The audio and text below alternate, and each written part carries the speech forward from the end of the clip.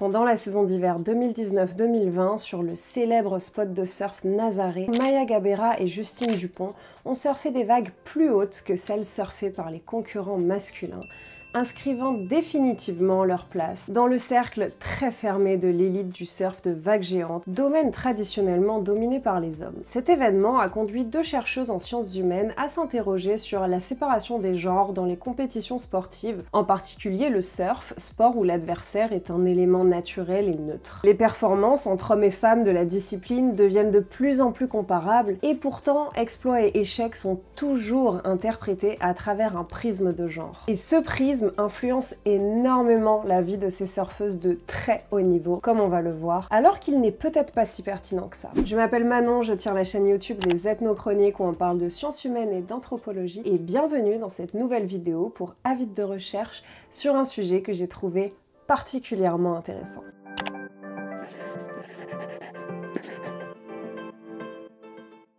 Dans cette vidéo, on va résumer l'article intitulé Et si le surfeur des plus grosses vagues du monde était une femme?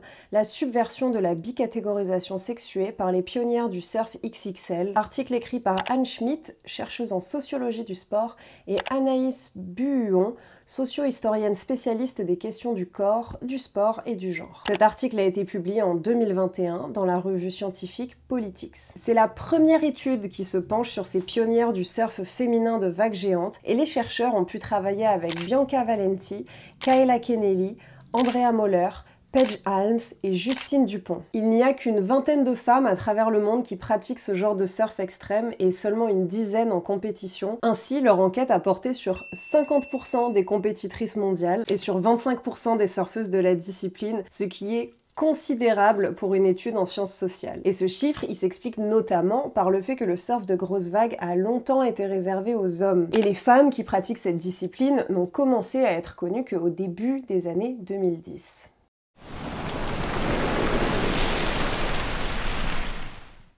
En 1922, Alice Miala, une des premières grandes dirigeantes sportives, organise les premiers Jeux olympiques féminins. Cette même année, le premier congrès mondial d'éducation physique de l'enfant et de la femme conclut que les épreuves d'athlétisme féminin doivent être rendues plus faciles. Les poids pour le lancer seront allégés, le saut en longueur supprimé, les courses feront moins de 2500 mètres, etc. Du coup, impossible pour les femmes de se démarquer, quand bien même elles en auraient les capacités. Historiquement, les femmes se sont battues pour pouvoir accéder à des disciplines sportives de haut niveau, mais souvent sous prétexte médical, les épreuves étaient donc allégées ou modifié. On peut voir à ça deux effets. À la fois, les normes de genre ont été bousculées en montrant que les femmes peuvent faire les mêmes activités que les hommes. Mais en même temps, ces normes de genre ont été réaffirmées, appuyées et confirmées en ne leur donnant accès qu'à des versions plus allégées des sports. On a hiérarchisé les corps selon le principe que les hommes seraient naturellement plus forts, plus puissants, plus rapides. Or, les corps humains reflètent des inégalités et des hiérarchies sociales. En l'occurrence, dans le sport, on rend soi-disant naturel des performances physiques en fonction de critères, par exemple ethniques ou de sexe. Et l'article cite notamment les travaux du maître de conférence en socio-anthropologie Benoît Godin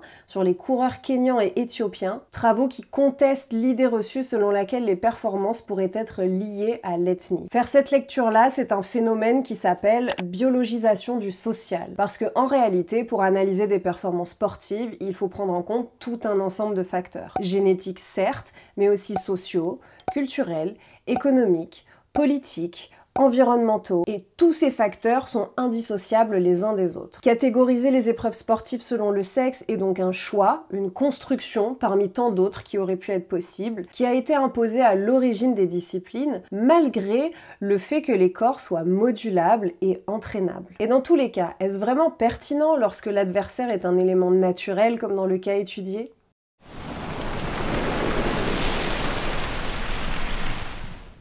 S'appuyant sur un article scientifique australien paru en 2013, les autrices rappellent que le surf est globalement un milieu avec une domination masculine très forte. Par exemple, lorsque plusieurs surfeurs attendent pour prendre une vague, une hiérarchie implicite favorite les shortboarders masculins qui pratiquent un surf associé à des valeurs très masculines. Un surf agressif, conquérant, nécessitant beaucoup de puissance pour réaliser des figures spectaculaires. Les surfeuses interrogées pour l'étude ont beaucoup concouru face à des garçons, car les divisions féminines n'existent dans ce sport que depuis assez récemment. Elles ont donc été socialisées dans un monde compétitif, quasi exclusivement masculin, où la performance fait hiérarchie. Si tu es fort, tu as le droit de prendre les bonnes vagues. Elles ont donc intégré des codes et des normes qui sont valorisés dans les milieux masculins. Et en intégrant la catégorie si extrême du surf de vagues géantes, elles ont transgressé un ordre supposé naturel en dépassant les limites de leur genre et en brisant un entre-soi viril. Elles ont intégré les codes masculins, mais sont devenues les rivales des hommes. Les autrices citent la sociologue Juliette Rennes qui a montré que l'accès des femmes aux droits masculins entraîne forcément une transformation de la place respective de chaque genre et remet en cause un équilibre prétendu transcendantal. La présence des femmes dans le surf de vagues géantes prouvent qu'elles ont les capacités pour être là et que ces capacités ne sont pas dues à un genre de ce fait. Sauf qu'elles acquièrent donc des capacités physiques qui sont supposées n'appartenir que au corps masculin et si le fait de devenir forte et musclée leur permet de performer sur la vague mais aussi d'endurer des chutes, en clair de pouvoir être des sportifs de haut niveau, cela les en empêche à la fois paradoxalement, car elles vont se heurter aux attentes sociales qui concernent leur corps, à savoir les critères physiques et esthétiques attendus des surfeuses.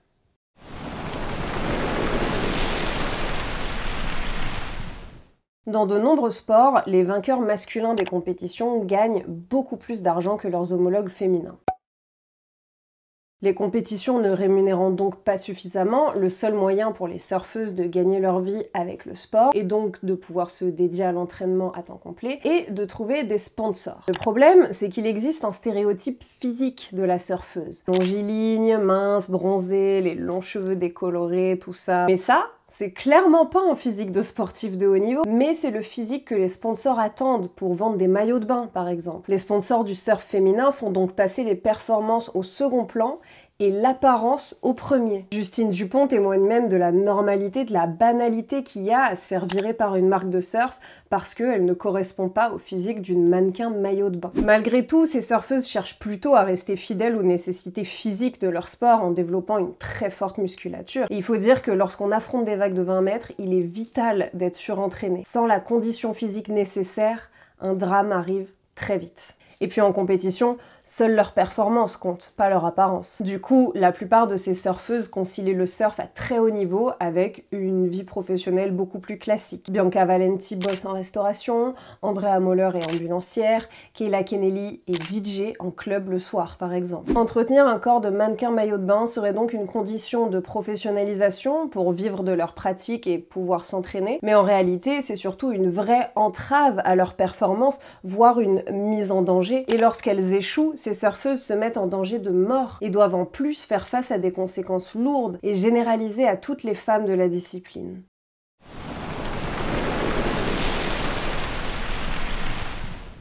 Une surfeuse qui échoue renvoie à une supposée faiblesse généralisée à son statut de femme. En novembre 2018, Juliette Dupont chute et se blesse très grièvement à Hawaï. Dans le documentaire Dos au mur d'Anthony Wolfstein, elle revient sur cet événement qui aurait pu lui être fatal, mais raconte que sa première émotion fut la culpabilité et déclare que c'est nul pour l'image des filles. Pourtant, comme elle le fait remarquer, si un Brésilien chute, on ne va pas généraliser le fait que les Brésiliens ne devraient pas pratiquer le surf XXL. Autre accident très symbolique, Maya Gabera à Nazaré en 2013, qui échappe de très peu à la mort. Sur CNN, le surfeur Laird Hamilton sous-entendra que les femmes ne devraient pas concourir ce genre de discipline et soulignera même que c'était la responsabilité de son partenaire masculin si elle était là et que il a eu de la chance qu'elle ne se noie pas.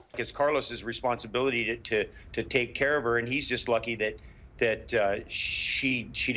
Coucou les années 50. Le statut de femme fait que les échecs prennent une proportion beaucoup plus générale qu'individuelle. Ils alimentent des discours selon lesquels elles seraient illégitimes de par leur nature physique à affronter l'océan, et ce, même au sein des grandes institutions. Certaines compétitions refusent l'accès aux femmes. Jugeons cela trop dangereux pour elles, comme par exemple la TUPU ou la World Surf League a annoncé en 2006 qu'il n'y aurait plus de compétition féminine. Pour autant, des tas de femmes surfent ce spot hors compétition et l'accès aux JO, dont l'épreuve a lieu à TUPU justement, leur est ouvert. Les conséquences des accidents pour les femmes vont bien au-delà de l'événement en lui-même. Ils ouvrent la porte à des débats trop discriminants. Et puis chaque accident efface les accomplissements précédents. Kennelly se blesse grièvement au visage à Tahiti le deuxième jour d'une compétition. Lors du premier jour, elle avait fait une des meilleures performances de la journée mais ce sera totalement oublié suite à sa blessure choquante du lendemain. Et pourtant, les accidents sont tout autant présents chez les hommes, mais ils sont plutôt vus comme des signes de bravoure. La chute de Moriarty, âgé d'à peine 16 ans sur Mavericks en 1994, qui a fait la couverture de Surfer Magazine,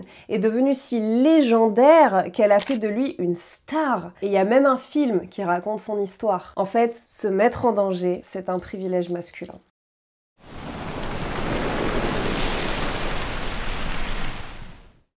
En 2016 est créé le Committee for Equity of Women Surfing par Bianca Valenti, qui rêve de concourir Mavericks, mais n'y a pas accès car elle est une femme. Cette compétition, vieille de 1999, est organisée par un chapeur local nommé Jeff Clark et fermée aux femmes sous prétexte qu'elles n'auraient pas les capacités pour surfer cette vague encore une fois, même si, à nouveau, elles sont nombreuses ou en tout cas il y en a quand même quelques-unes, qui vont dessus hors compétition. Avec le CEWS, les surfeuses dénoncent les discriminations et réclament l'égalité. Petit à petit, la World Surf League ouvre des compétitions aux femmes, mais les inégalités persistent et les surfeuses doivent faire face aux conséquences insidieuses de leurs engagements. Bianca Valenti est régulièrement prise à partie en privé par des surfeurs lors d'événements qui lui font la morale, et elle n'est pas invitée à plusieurs compétitions, notamment Mavericks. Et lorsqu'on a demandé à Jeff Clark si c'était à cause de ses actions militantes. Il n'a pas nié. L'éthique du fair play voudrait qu'on soit tous à égalité sur la ligne de départ. Cela implique bien sûr qu'il existe des sous-groupes en fonction du niveau, d'éventuels handicaps, de l'âge, du poids, etc. Mais pourquoi du sexe? Le surf de vagues géantes montre bien que ces catégories n'ont pas forcément lieu d'être. Par exemple, en 2021, Bianca Valenti et Becker ont surfé la même vague en paddle surfing, c'est-à-dire non tracté par un jet ski, à Mavericks. D'autant que même lorsque la discrimination se veut positive, elle ne fait toujours pas sens, car certaines femmes racontent aussi avoir été appelées pour participer à des compétitions pour lesquelles elles n'étaient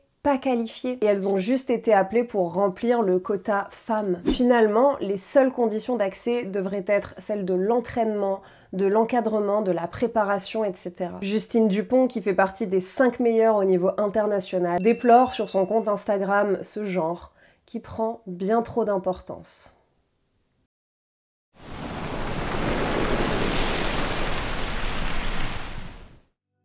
La catégorisation entre hommes et femmes dans le sport est souvent perçue comme naturelle. Pourtant, les performances des surfeuses, par exemple, montrent le contraire. Mais les fortes injonctions à la féminité qui sont faites à leur corps vont en totale contradiction avec les physiques surentraînés et puissants que nécessite la discipline et qui briseraient les frontières de genre. Frontières qui pourtant disparaissent lors de leurs performances exceptionnelles, mais réapparaissent aussitôt si elles chutent, leur faisant de plus porter une responsabilité à l'égard de toutes les autres surfeuses. Comme le rappellent les autrices de l'article, il ne faut pas oublier que ces procédés de non-mixité dans le sport sont similaires à ceux qu'on a rencontrés à l'école auparavant et au travail. Et puis qu'en réalité, les limites ne sont ni naturelles ni insurmontables. La lutte pour l'égalité continue et la présence de ces surfeuses sur les vagues géantes est un signe puissant que les barrières de genre sont faites pour être brisées, mais qu'il va falloir encore ramer. Merci à tous d'avoir regardé cette vidéo. N'oubliez pas de vous abonner si ce n'est pas déjà fait, de mettre un like, un petit commentaire si ça vous a plu. Et si l'article dont on a parlé vous intéresse et que vous voulez lire, vous retrouverez le lien dans la barre d'information de la vidéo. Et pour plus de contenu scientifique vulgarisé sur d'autres thématiques, n'hésitez pas à vous rendre sur le site de Monde Sociaux.